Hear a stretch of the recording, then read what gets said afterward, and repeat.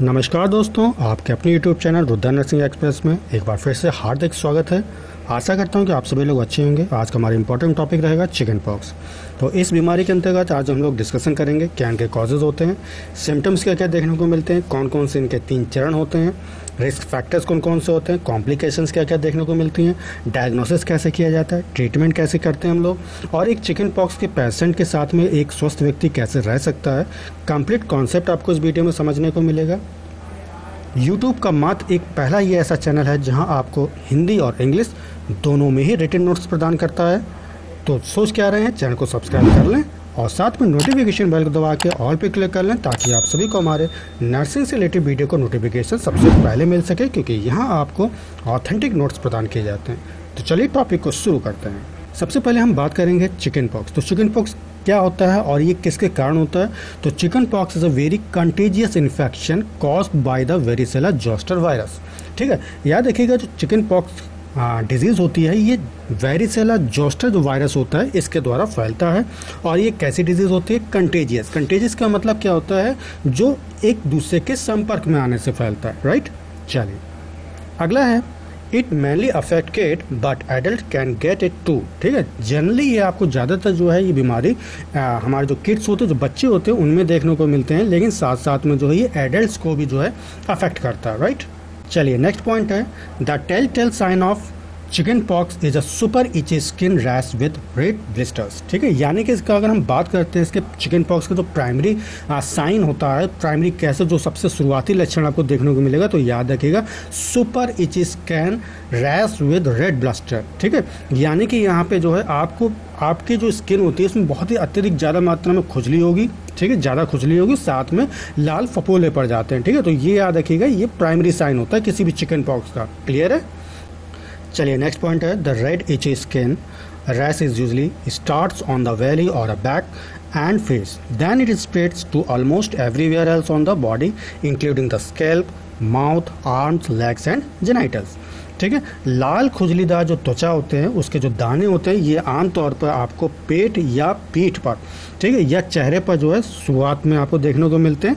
फिर यहाँ से जो है, ये धीरे धीरे आपकी खोपड़ी, ठीक? मुँह, हाथ, पैर और जननांगों सहित शरीर के जितने भी जो ऑर्गन्स हैं बॉडी पार्ट्स जो हैं, वहाँ तक पहुँच जाते हैं राइट चलिए, अब हम देखेंगे कि चिकन पॉक्स का क्या कारण होता है। तो जैसे कि मैंने ये आपको बताया था chickenpox is caused by the varicella zoster virus ठीक है? यानी कि वी जेड वी तो कौन से वायरस के द्वारा फैलता है? आपको याद रखना है वेरिसेला जोस्टर वायरस के द्वारा ये डिज़ीज़ जो है फैलती है, ठीक? चलिए नेक्स्ट पॉइंट है। After someone has had a chickenpox the virus stay dormant in the nervous system for the rest of the life the virus can reactive later as a shingles which is very painful क्या कहना चाहता है? किसी को chicken pox होने के बाद, ठीक है? यानी कि कोई भी ऐसा पेशेंट जिसको चिकन पॉक्स हुआ हो, ठीक है? मान लीजिए अगर 50 ऐसे पेशेंट हैं जिनका चिकन पॉक्स हुआ हो तो उनमें कुछ ही ऐसे पेशेंट होंगे जिनमें क्या होता है, जो ये वायरस होता है, ठीक है? वेरिसेला जॉस्टर जो वायरस होता है, ये क्या करता है? तंत्रिका तंत्र में जो आपका नर्वस सिस्टम होता है, वहाँ पर ये निष्क्रिय अवस्था में पड़ा रहता है, ठीक है? अब होता है क्या है कि जैसे ही हमारी इम्यूनिटी पावर जो है वीक होती है तो ये वायरस क्या है? दोबारा रिएक्टिव हो जाते हैं और सिंजल्स जो हैं वो पैदा करते हैं। सिंजल्स क्या होता है? जिसको हम दाद कहते हैं। और ये जो दाद होता है, काफ़ी ज़्यादा जो है दर्द भरा होता है राइट चलिए, अब हम बात कर लेते हैं सिम्टम्स की। ठीक है? क्या क्या लक्षण देखने को मिलेंगे? तो symptoms appear within a ten 10 to 21 days after you have been in contact with someone who has the virus. The rash often lasts about 5 to 10 days. Most people recover in about 2 weeks. ठीक है?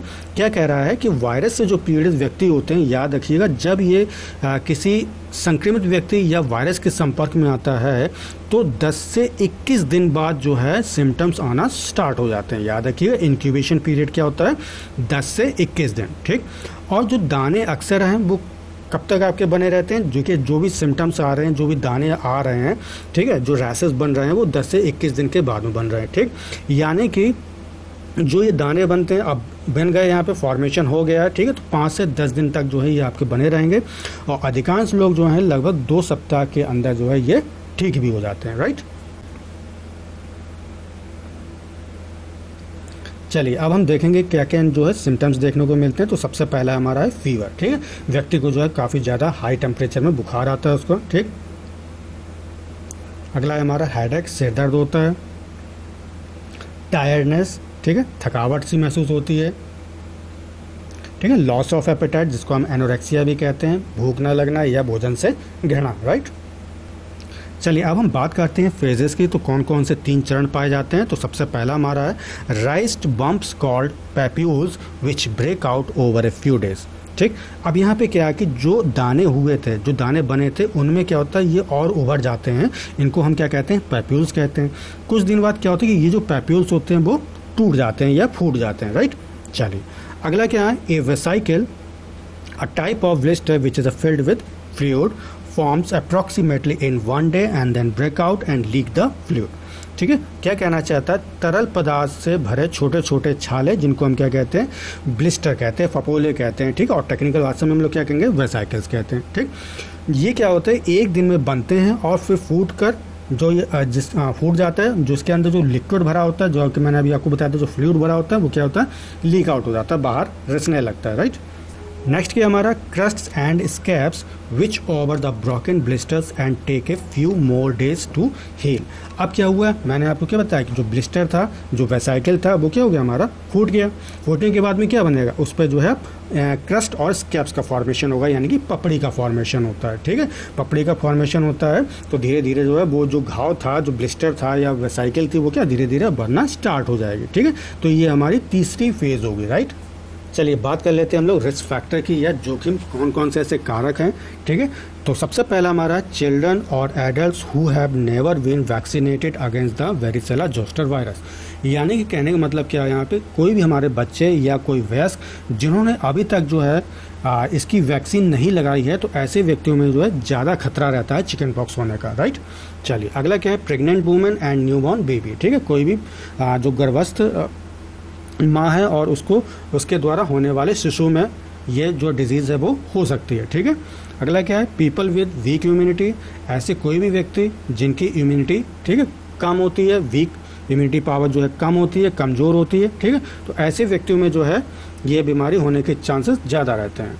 अगला point है हमारा those who are undergoing treatment for cancer यानी कोई भी ऐसा व्यक्ति जिनका कैंसर का ट्रीटमेंट हो रहा है, ऐसे व्यक्तियों में भी जो है चिकन पॉक्स होने की संभावना रहती है राइट चलिए those who have had organ transplant ऐसा कोई भी व्यक्ति जिनका ऑर्गन का जो है प्रत्यारोपण हुआ और ट्रांसप्लांट हुआ हो तो ऐसे व्यक्तियों में भी जो है आपको चिकन पॉक्स देखने को मिलेगा।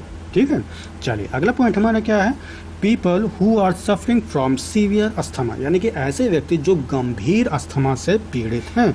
ऐसे व्यक्तियों को भी जो है चिकन पॉक्स हो जाता है राइट चलिए नेक्स्ट क्या है हमारा?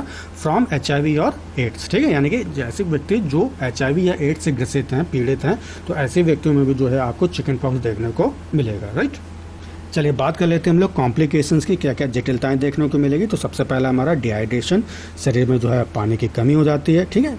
लीवर प्रॉब्लम्स लीवर में जो है समस्याएँ उत्पन्न होने लगती हैं, ठीक है? अगला क्या है? Bacterial infection in blood skin joint and tissue ठीक है? यानी कि blood infect sorry bacterial infection आपको देखने को मिलेगा कहाँ कहाँ मिलता है? आपके ब्लड में स्किन में, ठीक है? ज्वाइंट्स और आपके टिश्यू में राइट चलिए नेक्स्ट क्या है? Formation of blood clots everywhere ठीक है जगह जगह पर जो है आपके ब्लड क्लॉट देखने को मिलेगा, जिसको हम खून के थक्के कहते हैं राइट चलिए, अगला क्या है? Swelling of the brain called encephalitis ठीक है, यानी कि आपको इंसेफेलाइटिस भी देखने को मिलेगा। इंसेफेलाइटिस का मतलब क्या होता है? जब हमारे ब्रेन में सूजन आ जाती है। क्लियर है? चलिए, अगला क्या है? निमोनिया ठीक है? स्पॉन्डिलाइटिस स्पॉन्डिलाइटिस क्या होता है? जब आपकी रेट की हड्डी में सूजन आ जाती है तो उस कंडीशन को हम स्पॉन्डिलाइटिस कहते हैं राइट नेक्स्ट क्या हमारा? रेज सिंड्रोम ठीक है? इसमें क्या होता है? ब्रेन और आपके जो लीवर होते हैं, उसमें सूजन आ जाती है। चलिए बात कर लेते हैं हम लोग डायग्नोसिस की, कैसे जो हम लोग बीमारी को कन्फर्मेशन देते हैं कि हाँ किसी व्यक्ति को जो है चिकन पॉक्स है। तो सबसे पहला हमारा जो बेसिक रहता है, वो हमारा हिस्ट्री कलेक्शन रहेगा, ठीक है? नेक्स्ट क्या हमारा? फ़िज़िकल एग्जामिनेशन के द्वारा हम कन्फर्मेशन देते हैं। अगला है हमारा ब्लड टेस्ट के द्वारा। नेक्स्ट है हमारा टिश्यू बायोप्सी ठीक है? तो टिश्यू बायोप्सी में क्या होता है? जो भी आ, आपके यहाँ पे जो ब्लिस्टर्स पड़े थे वहाँ से हम लोग क्या करते हैं? थोड़ा सा टिश्यू ले लेते हैं उसको फिर हम लैब में उसका एग्जामिनेशन करते हैं ठीक है? और इस प्रकार हम कंफर्मेशन दे देते हैं कि व्यक्ति को जो है चिकन पॉक्स है कि नहीं है। चलिए बात कर लेते हैं ट्रीटमेंट की कैसे हम उसका उपचार करेंगे कैसे इसको हम सही करेंगे। तो सबसे पहला हमारा पॉइंट है यूज़ एसिटामिनोफेन जिसको हम टेलिनॉल भी कहते हैं, यानी कि टेलिनॉल क्या हो जाएगा, उसका ब्रांड नेम हो जाएगा, जबकि जेनरिक नेम क्या होगा? एसिटामिनोफेन होगा राइट तो ये हम पेशेंट को देंगे, क्यों देते हैं? जब पेशेंट को पेन और फीवर हो रहा हो तो उसको रिलीफ देने के लिए राइट अगला है डोंट स्क्रेच दैट इच ठीक?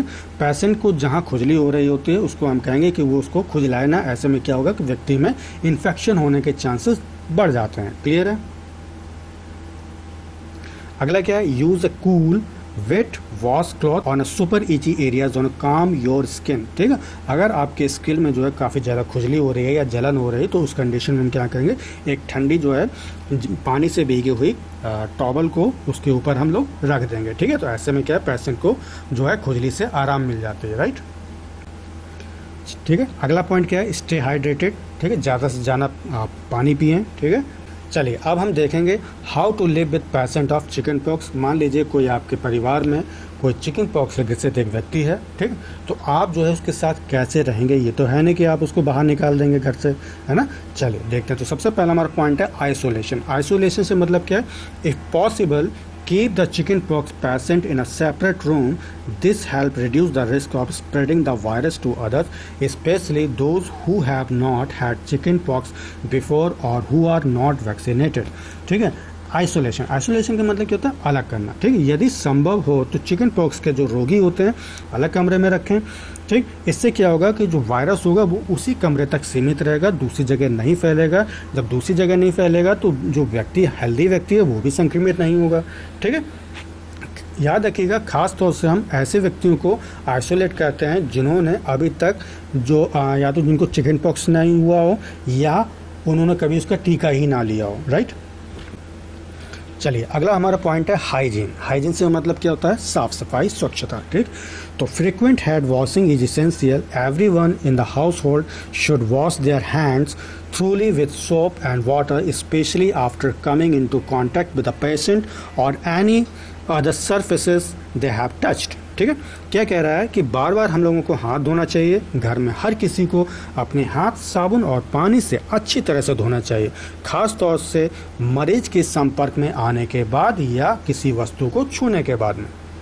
चलिए, अगला हमारा पर्सनल आइटम पर्सनल आइटम से मतलब क्या है? यानी कि the patient should have their own personal items such as towels bed sheets utensils and toiletries These items should not be shared with others to prevent cross contamination ठीक? यानी कि व्यक्तिगत वस्तुएँ, यानी कोई भी पेशेंट है हमारा, कोई स्मॉल पॉक्स से ग्रसित व्यक्ति है और उसके जो भी पर्सनल आइटम्स हैं, ठीक? जैसे टॉवल्स हो गई है, ठीक है? तौलिया हो गई है बेडशीट है, बर्तन है या प्रसाधन सामग्री है तो उसको हमें क्या करना है? उसको शेयर नहीं करना है, ठीक है? शेयर करेंगे तो क्या होगा?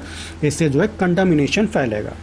तो याद रखिएगा, ऐसी कंडीशन में किसी भी पेशेंट के पर्सनल आइटम्स को हमें शेयर बिल्कुल भी नहीं करना है, उनको बिल्कुल भी नहीं छूना है और ना किसी को छूने देना है राइट नेक्स्ट हमारा medication follows the doctor's advice regarding medication and treatment antiviral medication may be prescribe in some cases over the counter remedies like calamine lotion can help relieve itching ठीक तो दवा के बारे में देख लेते हैं। दवा और उपचार के संबंध में डॉक्टर की सलाह का पालन करें। जो भी आपके डॉक्टर ने बताया है, ठीक, उनको फॉलो करें। कुछ मामलों में एंटीवायरल दवाएँ निर्धारित की जा सकती हैं, ठीक। कैलामाइन लोशन सबसे अच्छा लोशन माना जाता है। इसको क्या होता है? इसको लगाने से जो है व्यक्ति में जो इचिंग होती है, उससे काफ़ी उसको आराम मिल जाती है। क्लियर है? नेक्स्ट क्या है? सीख मेडिकल एडवाइस ठीक है? सीख मेडिकल एडवाइस का मतलब क्या है? चिकित्सीय सलाह लें, ठीक आपके जो डॉक्टर हैं, उनसे मेडिकल एडवाइस लेनी चाहिए, ठीक? In case of chicken pox तो सबसे फ़र्स्ट हमारा लिखा है if you or anyone else in the household has not a chickenpox before and has not been vaccinated consider contacting a health care provider, they may recommend vaccination or other preventive measures, ठीक है? यानी कि कहने का मतलब क्या है? चिकित्सीय सलाह लेना है, कहने का मतलब कोई भी ऐसा व्यक्ति जिसने कभी, जिसको कभी आज तक चिकन पॉक्स नहीं हुआ हो, या उसने कोई भी वैक्सीन नहीं लिया हो, ठीक है? वैक्सीनेशन नहीं ली हो तो ऐसे पेशेंट को जो है डॉक्टर से सलाह लेनी चाहिए और डॉक्टर जो है, हमें उचित सिफारिश देता है कि आपको क्या करना है, क्या नहीं करना है राइट अगला क्या है? लिमिट कांटेक्ट लिमिट कांटेक्ट से मतलब क्या है? एक दूसरे से जो संपर्क हम करते हैं कम से कम संपर्क रखें। ठीक है? दूसरों से मिलना जुलना कम करें। इसका मतलब ये है, ठीक? तो minimize contact between the patient and people who are at higher risk of severe complications from chickenpox such as the pregnant women newborn elderly individuals or those with weekend immune system ठीक है? संपर्क सीमित करना है हमें, ठीक? रोगी और उन लोगों के बीच संपर्क कम से कम करें जिन्हें चिकन पॉक्स से गंभीर जटिलताओं का खतरा अधिक है, जैसे कि गर्भवती महिलाएँ हो गई हमारी, ठीक? नवजात शिशु हो गए, बुज़ुर्ग व्यक्ति हैं या ऐसे व्यक्ति जिनकी प्रतिरक्षा प्रणाली यानी कि इम्यून सिस्टम कमज़ोर है राइट आशा करता हूँ कि टॉपिक आपको अच्छी तरह समझ में आ गया होगा। टॉपिक कैसा लगा? कमेंट करके ज़रूर बता यदि आपको ये वीडियो अच्छा लगा है तो उसे लाइक करें और अपने दोस्तों के साथ में ज़्यादा से ज़्यादा शेयर करें। तो तब तक के लिए अपना ख्याल रखें। Take care bye bye thank you so much